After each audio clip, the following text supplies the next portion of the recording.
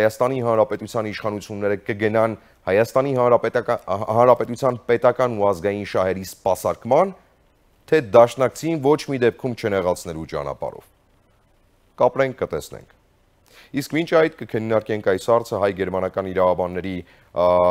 միության նախագահ Գուրգեն Պետրոսյանի հետ, կապ հաստատելով Գերմանիա, Նյուրնբերգ, Ողջույն պարոն Պետրոսյան, շնորհակալ եմ անչափ, որ ժամանակ գտաք, միացաք մեզ։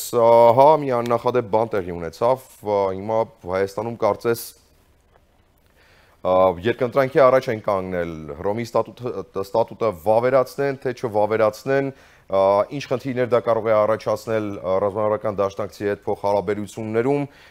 եւ առհասարակ սկսենք նրանից. Որքանով է այս օրդերը որ տրված է միջազգային քրեական դատարանի կողմից գործուն ինչ կարող են անել դատարանի ներկայացուցիչները կամ ՄԱԿ-ը առհասարակ Շնորհակալ եմ հրավերի համար։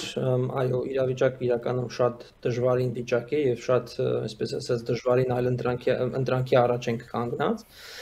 Տեսեք, ինչ վերաբերում է զուտ ձերբակալմանը կամ ֆիզիկական այդ ձերբակալությանը, իհարկե այստեղ խոսքը իրականում սիմվոլիկ նշանակություն ունի, իրականում այս հարցը ավելի խորքային բնույթ է իր մեջ բնույթ է իր մեջ գրում այսինքն հարկավոր չէ որպեսի մեր ոստիկանական ուժերը կամ բարեկները ձերբակալեն Վլադիմիր Պուտինին եւ ներկայացնեն Հագաս, տեղ իրականում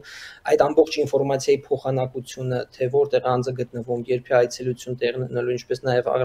այլ քրեական համագործակցություն այլ պետությունների հետ պարտավորություն է լինելու Հայաստանի համար, եթե այն պահից, երբ որ ինքը դառնա միջազգային քրեական դատարանի լիարժեք անդամ։ Բայց այդտեղ կուզենայի նաև մեկ կարևոր արձանագրում անել, որպեսզի մեր հանդիսատեսի համար հասկանալի լինի։ Մենք երբ որ խոսում ենք միջազգային քրեական դատանի մասին, միջազգային քրեական դատանը հիմնականում է հետապնդում պատժել առանձին անձանց քրեական հիմքերով բայց կա նաև միջազգային արտահայտության դատարան, որը զուտ քնում է պետական պատասխանատվությունը պետության Եվ շատ դեպքերում մեր հասարակության մեջ այս տարակարծությունն է առաջանում, թե որ նույն դատարանը նույն գործերն է քնում, սակայն դա այդպես չէ, եւ օրինակ մեր այդ օրդերը ինչ վերաբերում է Արցախին, դա վերաբերում է զուտ պետական պատասխանատվություն եւ քննվում է պետությունների միջև, միջդեռ միջազգային քրեական դատարանը հետապնդում է կոնկրետ անձանց, որը առանձին դատարան է իհարկե երկուսն էլ գտնվում են Հագայում բայց ինչ է նշանակելու դա մեզ համար Այո, ռուսական կողմը, ռուսական քաղաքականությունը չի ուզենա, որպեսզի մենք դառնանք լիարժեք անդամ, եվրոպական պետությունները կամ այսպես ասած արևմտյան պետությունները իհարկե փորձ են անելու, որպեսզի մենք ընկնենք այդ like-minded states հասկացողության տակ եւ բարբերաբար համագործակցենք իրենց հետ, մասնավորապես ռուս-ուկրաինական կոնտեքստում։ Բայց հարց է առաջանում, իսկ ինչ կարող ենք անել մենք։ Միգուցե մենք կարող ենք այս իրավիճակը օգտագործել ի շահ մեզ եւ փորձել մեր դիվանագիտական աղբյուրներով ճնշում գործադրել երկուստեք միգուցե եւ որբիսի կարողանանք մեր շահերը մեր շահերին այս ամենը չսպասարկենք որովհետեւ դժվար է իհարկե պատկերացնել թե եվրոպական եվ մի կողմը կամ մյուս կողմը միանգամից այսպես ասած անցում կատարելով մենք կարողանանք այսպիսի դիվանագիտություն վարել։ Միգուցե եւ վավերացումը ինքնին իհարկե ճիշտ քայլ է, բայց միգուցե պետք է նաեւ դիվանագիտական ուղղություններով սա փորձել գործարկել եւ հասկանալ թե ինչպես կարող ենք մենք այս բարագայում մեր շահերը ավելի առաջ տանել, քան թե ինչ որ պետությունները իրար հետ փորձում են հիմա հարցեր լուծել։ Այսինքն մենք այստեղ խոշոր հաշվով անհանգստանալու բան չունենք եւ եթե կարիքը լինի Հռոմի ստատուտը պետք է վավերացնել նախ եւ առաջ սպասարկելու Հայաստանի Հանրապետության պետական ազգային շահերը։ Եվ այստեղ անհանգստանալ ռուսները մեզնից կնեղանան, կմտածեն, որ մենք Պուտինին ուզում ենք ձերբակալենք, սրա մասին մտածել չարժի ամեն դեպքում, ճիշտ հասկացա։ տեսեք, իհարկե հա, պետք է հասկանալ, թե ինչ պատժի կոպիտ ասած կարող ենք մենք ենթարկվել, եթե մենք ամբողջովին մի կողմ անցնենք։ Դա պետք է մենք միշտ հաշվի առնենք, որ պատիժը երկկողմանի կարող է լինել, բայց մյուս կողմից մենք պետք է հասկանանք, որ մենք մեր խնդիրները ունենք, մենք այդ խնդիրների լուծումն ենք փորձում գտնել, եւ դրա միակացյանը դա միջազգային քրեական դատարանն է, եւ ուստի մեր դիվանագիտական աղբյուրներով մենք պետք է ճնշում գործադրենք որբիսի կարողանանք մեր գործերը առաջ տանել, որ մենք մենք չենք միանում միջազգային քրեական դատանին, որբիսի այլ պետությունների խնդիրները լուծել, ինչ որ չափով նաև աջակցում ենք դրանց, որտեղ պարտավորություններ ենք ձեռք բերում, բայց դա մեզ համար ավելի շատ ոչ այդքան առաջնային խնդիր է, որքան որ մենք ունենք առաջնային խնդիրներ մեր ներ պետական համակարգում։ Այո, մենք պետք է իհարկե համագործակցենք բոլորին հետ, բայց դա նաև նշանակում է, որ մենք ունենք խնդիր, որը ուզում ենք լուծել միջազգային կոնտեքստում ինչ հնարավորություններ է մեզ տալու ստատուտի վավերա ստատուտի հաստատումը, այսինքն դրա կիրառումը, վավերականացումը Հայաստանում, ինչ տեսակ բողոքներ Հայաստանը կարող է Ադրբեջանի դեմ ներկայացնել, արդյոք դրանք տեղավորվել են մոտավորապես Հաագայի արդարացության միջազգային դատարանի տրամաբանության մեջ մենք Հայաստանը որպես այդպեսին բողոք չի ներկայացնելու Ադրբեջանի դեմ, Հայաստան ներկայացնելու է իրավա յուրիսդիկցիա է տրամադրելու դատարանին, որպեսի դատախազը իր հետաքննության արդյունքում հավաքագրած ապացույցների հիման վրա բացի իրավիճակ կամ հետաքննություն սկսի կոնկրետ այն անձանց նկատմամբ, ովքեր որ կատարել են պատերազմական հանցագործություն Հայաստանի Հանրապետության տարածքում եւ ինչպես արդեն նշվեց, այդ իրավա այդ ճանաչված իրավասության շրջանակներում մեր հիմնական գործառույթը, ինչպես նաև հասարակական կազմակերպությունների գործառույթը լինելու է այն, որ իրենք այդ ապացույցները, լինի դա դժողների վկայությունները կամ այլ տեսակի քրեիրավական քրեադատավարական շրջանակներում ձեռք բերված ապացույցները տրամադրի դատախազին, որպիսի ինքը արդեն մնացած գործողությունները սկսի։ Հայաստանը ընդդեմ Ադրբեջանը, ինչպես մենք ունենք միջազգային արտահայտության դատարանում, այդպիսի գործընթաց սկսել ի սկզբանե չի կարող, որովհետև ինչպես ի սկզբանե նշեցի, գործը քնում է կոնկրետ դատախազը կոնկրետ անձանց դեմ Հոպետյոսյան, հիմա եւս մի կարևոր հարց։ Առհասարակ դատարաններում ամեն բան կարգավորվում է նախադեպերով, եթե կա նախադեպ, ուրեմն գործը ավելի հեշտ է գնում առաջ։ Հիմա միջազգային քրեական դատարանի շրջանակներում կան նմանօրինակ գործեր, որոնք օրինակ Հայաստանի կողմից կարող են գեներացվել եւ մենք դրանցում կարող ենք հաջողել։ Օրինակ մենք ունենք փորձեր հաջողված դատարանի որոշմամբ որ այս կամ այն կերպ զսպել են ագրեսորին կամ չգիտեմ, որոշակի իրավական գործիքներ լծակներ են տվել զսպելու, թույլ չտալու, որ հերթական մի հարցակումը լինի։ Ինչ ինչ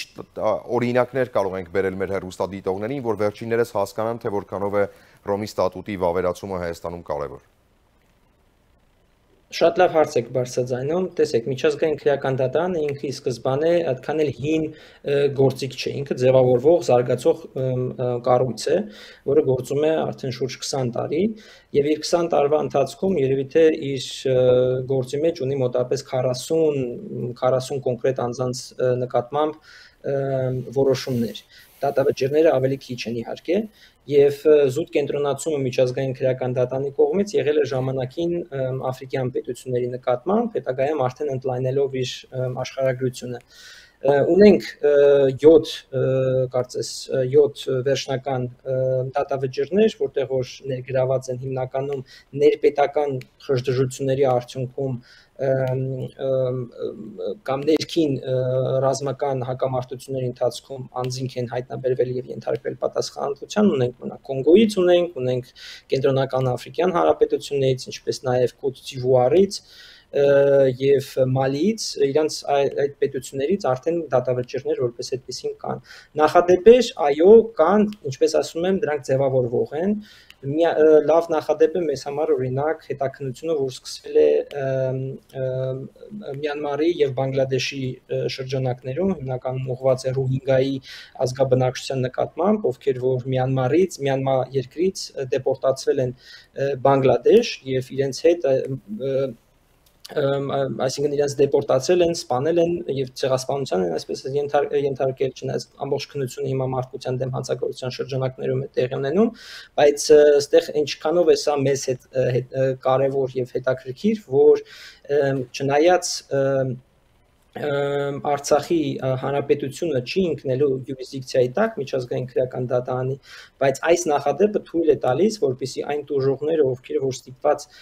փախել փախչել են Արցախի հանրապետությունից կամ այն գրավյալ տարածքներից, իրենք կարող են տեսականորեն ընկնել միջազգային քրեական դատարանի յուրիսդիկցիայի տակ, հաշվի առնելով այդ Բանգլադեշ-Մյանմար իրավիճակը,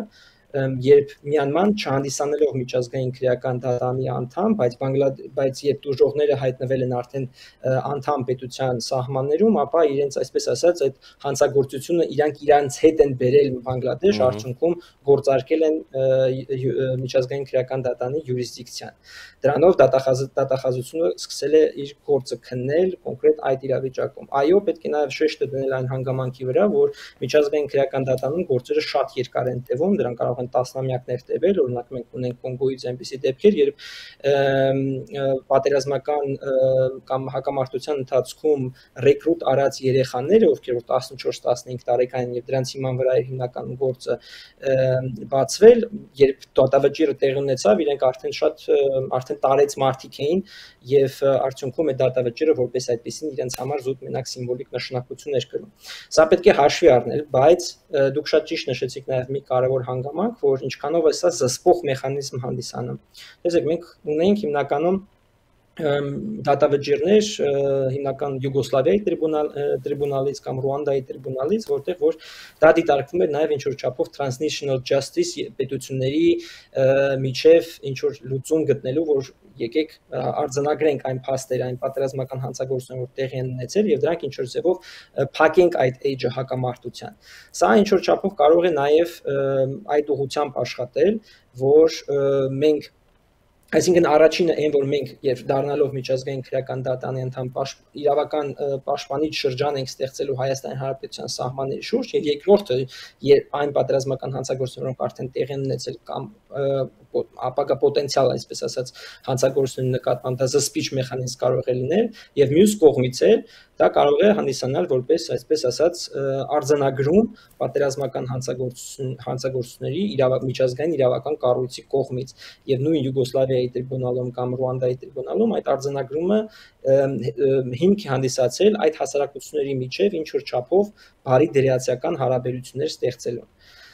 Բայց սա շատ բան է, շատ օպտիմիստական է այդ պետություններում։ Ինչքանով է դա հաջողված, ինչքանով դա հաջողված չէ, դա իհարկե տարբեր կարծիքներ կան այդ շրջանակներում, բայց նպատակը միջազգային տրիբունալ ստեղծելու կամ միջազգային քրեական իրավահարաբերություններում այս ամենը բարձելու նպատակը հետապնդում, որպեսզի հասարակությունները իրար հետ բարի դրացիական հարաբերություններ հաստատեն, արձանագրելով, որ այն ինչ որ տեղի ունեցել է, դա պատերազմական հանցագործություն է կամ մարդկության դեմ հանցագործություն է։ Նույն ձևով Նյուրնբերգի տրիբունալը հենց դրա դրա նպատակներ հետապնդում, որ առաջին հերթին փակել age-ը պատժելով միջազգային պատերազմական հանցագործներին եւ մյուս կողմից ստեղծել մի միջավայր ապագայի նկատմամբ, որ այսուհետ այս պատերազմական հանցագործությունները չպիտի երկրկնվեն։ Պարոն Պետրոսյան, հիմա ամփոփելով, այն որ եւ արտադրության միջազգային դատարանը եւ քրեական միջազգային դատարանը ճունեն բավարար միջոցներ եւ ռեսուրսներ պնդելու, հասնելու իրենց վճիրների իրականացմանը, օրինակ Հաագայի դատարանը արտադրության որոշել էր, որ Լաչինի միջանցքը պետք է բացվի, բայց ճունի չէ այդ լծակը ինքը կոպիտ ասած թողնում է որոշումը կայացման երկրի խղճի վրա։ Հիմա Ադրբեջանը այդ խիղճը չունի Լաչինի միջանցքը բացելու, այն է կատարելու միջազգային դատարանի։ Նույնն էլ ըստ էության տեղի ունենալու քրեական դատարանի մասով։ Վճիռը կարող է կայացվել, բայց չկա որևէ մեթոդ, ըստ որի օրինակ քրեական դատարանը կստիպի Ադրբեջանին պատասխան տալ են ռազմական հանցագործությունների համար, որոնք իրականացրել է եւ Արցախի տարածքում եւ Հայաստանի Հանրապետության տարածքում, օրինակ ռազմագերիներին գնդակահարել ճիշտ եմ հասկանում, որ այդ գործիքը քրեական դատարանի մասով էլ չկա։ Տեսեք, այդքան էլ այդպես չէ, եթե արդեն անձը հայտնաբերվում է եւ ներկայանում է միջազգային քրեական դատարան, ապա այս պարագայում քրեակատարողական գործողությունները նույնպես ընկած են անդամ պետությունների վրա, իսկ դա արդեն ըստ կատարվում է քրեակատարողական, երբ որ արդեն վճիրը տեղի ունեցել եւ անձը արդեն դատապարտվել է կոնկրետ ազատազրկման, ապա անդամ պետություններից մեկը կարող է իր վրա պարտականություն վերցնել կատարելու քրեակատարողական իր գործողությունները, այսինքն տեղավորել իրեն ազատազրկման վայր, եւ ապահովել իր գտնվելը ազատազրկման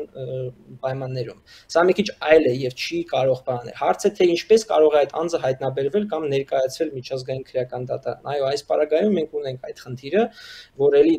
հույսը դրված է անդամ պետությունների գործիքակազմերի վրա, բայց տեղը պետք է արձանագրենք մի բան, որ մեկ բան է ձերբակալել առանձին զինվորականի կամ առանձին պաշտոնյայի, բայց այլ հարց է ձերբակալել երկրի ղեկավարին, ինչպես դուք ձեր ներկայացության մեջ նշեցիք, երկրի ղեկավարին ձերբակալելը դա բավական խնդրահարույց հարց է եւ մենք ունենք միջազգային քրեական դատարանում նույնպես օրինակներ նախադեպ նախադեպեր երբ երկրի ղեկավարի նկատմամբ կարկալանքի որոշում օրինակ Սուդանի օրինակով եւ անձը չնայած որ համանապակված էր իր ճամփորդությունը բայց կարողանում էր այցելել նաեւ անդամ պետություններին որտեղ որ դատական իշխանությունները պարտավորված է իրականացնել ձերբակալումը, բայց տարբեր տեսակի իրավական մեթոդներով խույս էր տալիս այդ այդ որոշումը իրականացնել, որովհետև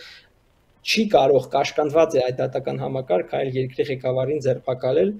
հաշվի առնելով այն հանգամանքը, որ ազգային ատյանի շրջանակներում գոյություն ունի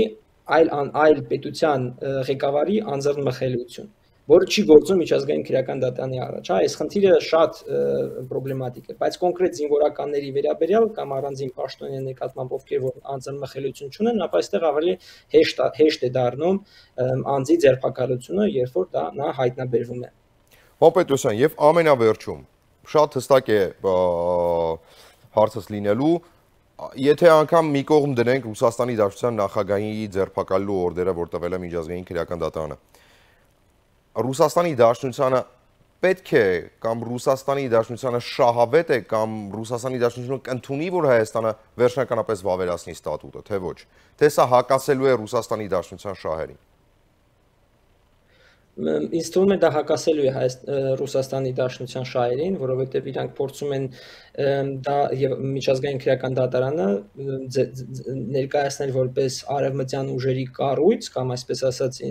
տիկնիկ, հա, որ կատարում է իրենց հրամանները եւ ցանկացած իր գործընկերի միջամտությունը այդ կառույցին կառույցին դիտարկվել է որպես ոչ իրենց շահերից բխող։ Ոստի իրանք ամեն ջանքը փորձ ամեն ջանք ներդնելու են նրա վրա, որպեսզի Հայաստանը չվավերացնի փորձելով իրենց կողմից պրևենտիվ մեխանիզմներ օգտագործել դրանք դա չթույլ տալու համար բայց նույն ձև մենք չպետք պետք է նաև մեր պրևենտիվ մեխանիզմներն օգտագործենք որպեսզի հակառակը համոզենք եւ փորձենք մեր բանը մեր շահերը առաջ տանել Հա, ստացվում է, որ իրականում Հռոմի ստատուտի վավերացումը Հայաստանի կողմից Հայաստանի արևմտյան ինտեգրացիայի ինչ-որ մեթոդ եւ մոդել է ստացվում, որը հակասում է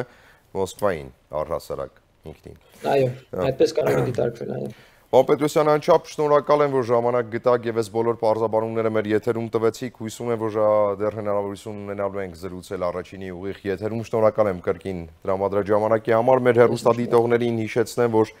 ուղիղ կապ էինք հաստատել Նյուրնբերգ, Գերմանիայի զրուցում էի հայ-գերմանական իրավաբանների միության նախագահ Գուրգեն Պետրոսյանի հետ։ Պարոն Պետրոսյանը մեզ մատների վրա բացատրեց, թե ինչ է առհասարակ Ռոմի ստատուտը, ինչքանով է կարևոր Հայաստանի վավերացումը։